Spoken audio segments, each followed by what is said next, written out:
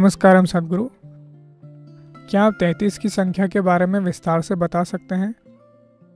मुझे पता है कि यह हमारे जीवन में एक महत्वपूर्ण संख्या है।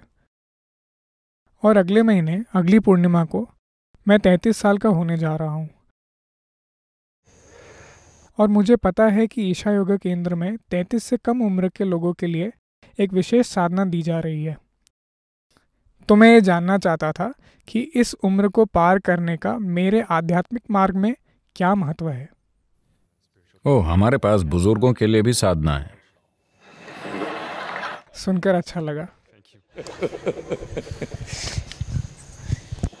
वैसे यौगिक संस्कृति में हमारे जीवन के पहले साढ़े आठ सालों को बचपन माना जाता है। तो वो साल नहीं जोड़े जाते। हालाँकि बाल अवस्था बारह तक होती है, पर साढ़े आठ साल तक आप वाकई बच्चे होते हैं। आपको इसका अनुभव है। साढ़े आठ साल के बाद बस आपके माता पिता आपको बच्चा समझते थे, पर आप चोरी छुपे बहुत कुछ थे। हाँ। बड़े सोचते हैं कि आप बच्चे हैं, पर आप जानते हैं आप नहीं हैं, क्योंकि आपका बचपन कई तरीकों से साढ़े आठ पर खत्म होता है। तो अगर आप दो सौर चक्र लें, जो 24 साल से थोड़ा कम होता है,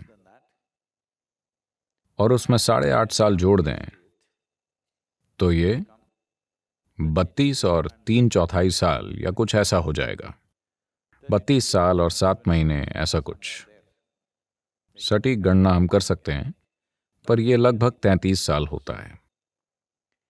तो जब ये दो चक्र समाप्त होते हैं बाल अवस्था को छोड़कर जब यह समाप्त होता है तो एक संभावना होती है। तब आपका जीवन तीव्रता के एक अलग स्तर पर जा सकता है।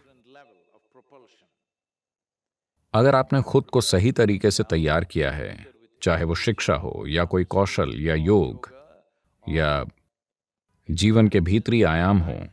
अगर आपने इनमें से कोई भी तैयारी की है तो इस समय चीज़ें आगे बढ़ सकती हैं, या तब गिरावट शुरू हो सकती है।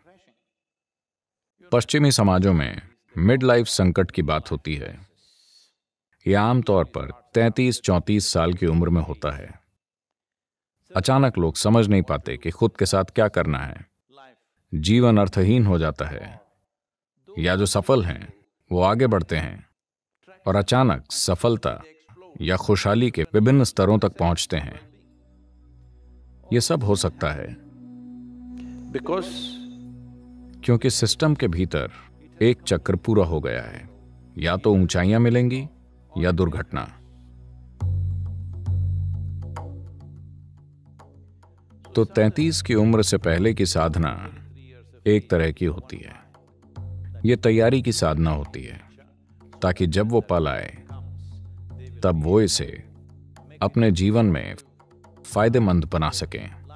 क्योंकि 32 से 33 साल की उम्र में कितनी सकारात्मक चीज़ें होती हैं। This will largely determine the trajectory of one's life and impact in the entire life. इससे काफ़ी प्रभाव पड़ेगा और जीवन की गति भी तय होगी। जीवन काफ़ी हद तक उन चीज़ों से तय होगा जो 33 में हुई थीं। अगर तब जीवन वाकई ऊँचा नहीं उठता तो शायद आप अच्छा करें, पर तब ऊंचाइयों को छूना थोड़ा मुश्किल होगा। ऐसा नहीं है कि आप उड़ नहीं पाएँगे, यह कहना गलत है, पर मुश्किल होगी, ज़्यादा ईंधन की ज़रूरत होगी। काफ़ी ज़्यादा ईंधन ज़रूरी होगा, पर अगर आपका जीवन, आपकी शारीरिक बनावट, आपकी ऊर्जा बनावट, आपकी भीतरी ज्यामिति अगर आप इन्हें 33 की उम्र तक परिपक्वता के एक स्तर तक ले आए हैं तो जीवन काफ़ी आसानी से आगे बढ़ेगा, वरना ज़्यादा मेहनत लगेगी। तभी हमने 33 साल से कम उम्र के लिए साधना तय की है, ताकि वो तैयारी रखें, वो अपनी भीतरी जामिति और ऊर्जा को व्यवस्थित रखें, वो खुद को ऐसे बचाकर रखें कि जब जीवन आगे बढ़ना चाहे तब ऐसा करने के लिए ईंधन हो। देखिए, आप अपनी रफ्तार बढ़ाना चाहते हैं, पर टैंक खाली है। तो मुश्किल होगी।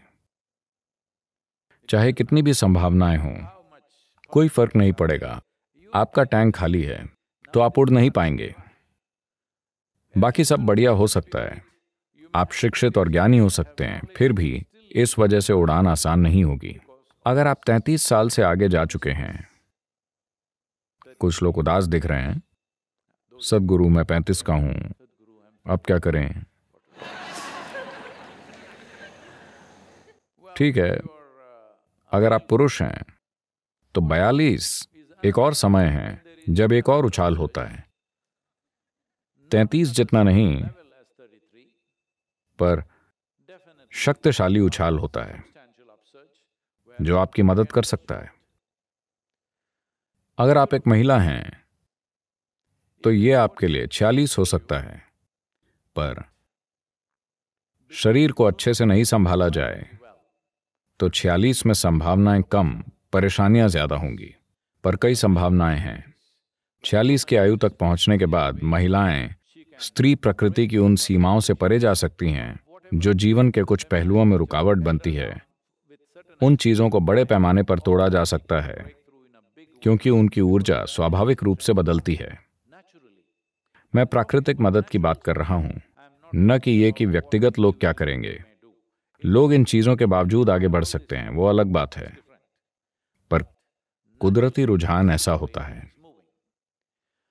तो इन दोनों से चूक जाने पर, फिर साठ की उम्र में उम्मीद है।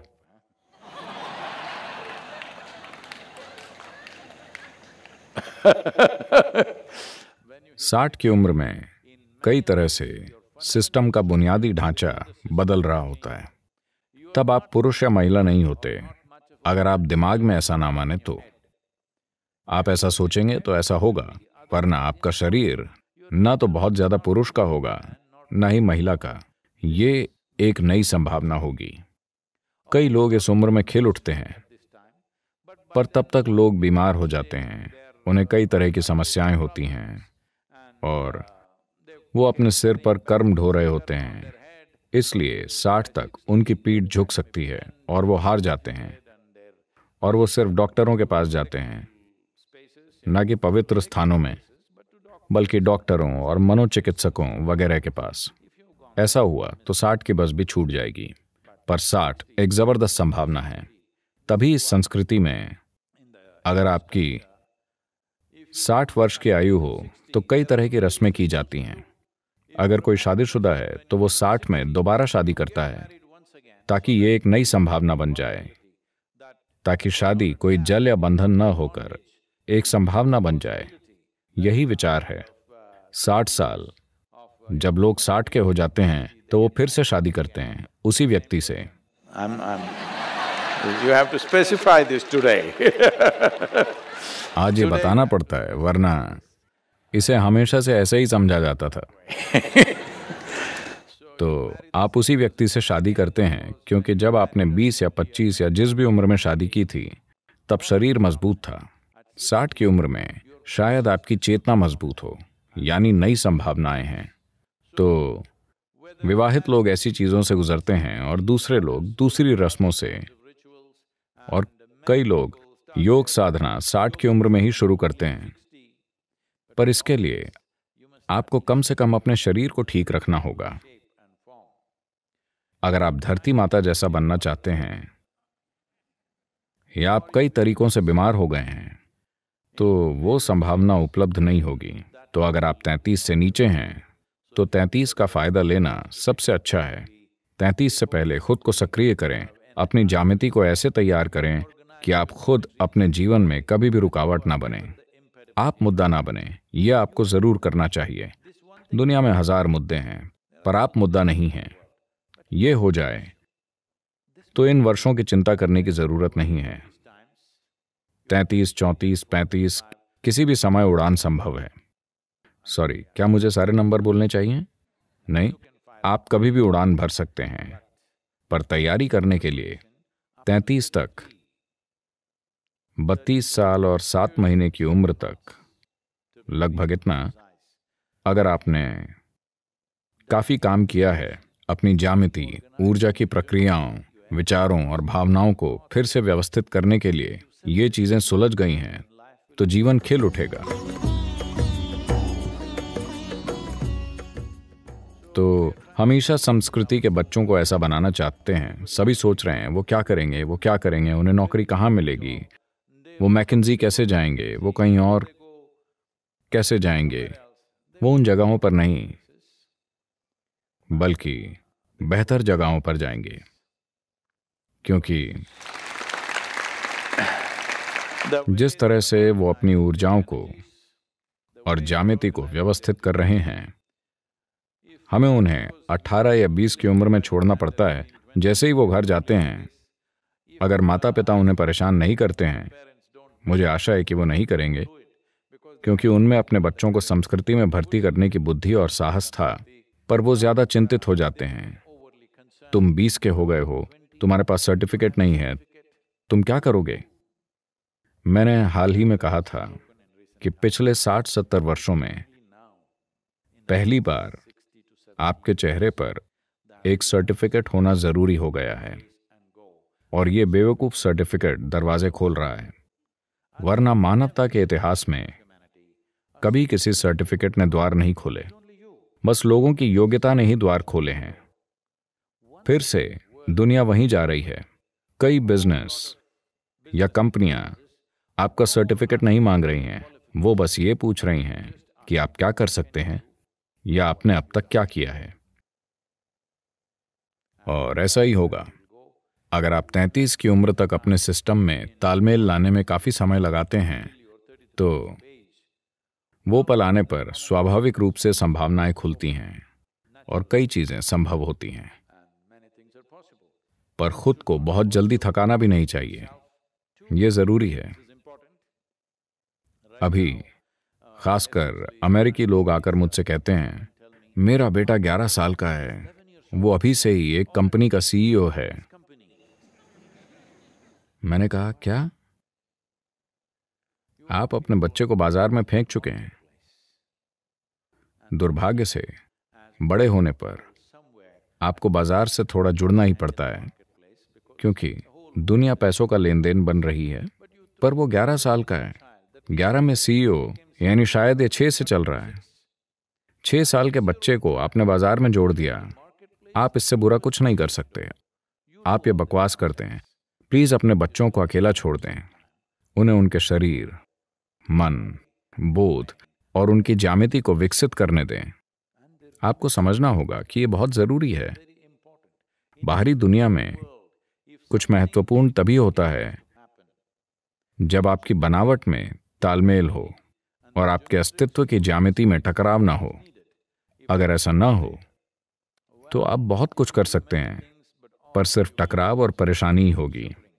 अगर बनावट में समता ना हो, अगर आप किसी ऐसे यांत्रिक वस्तु या मशीन को देखें, जिसकी बनावट में समता न हो तो उसमें बस टकराव होगा।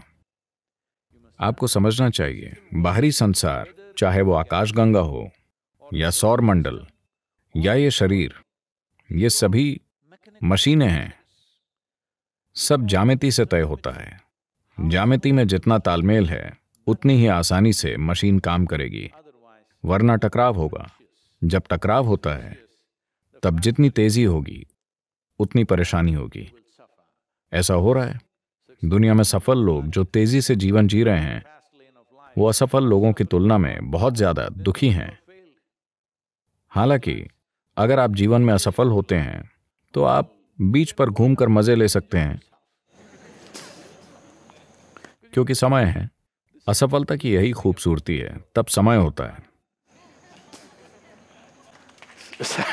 अरे, ये कौन है? मुझे पता नहीं था कि ऐसे इतने लोग हैं।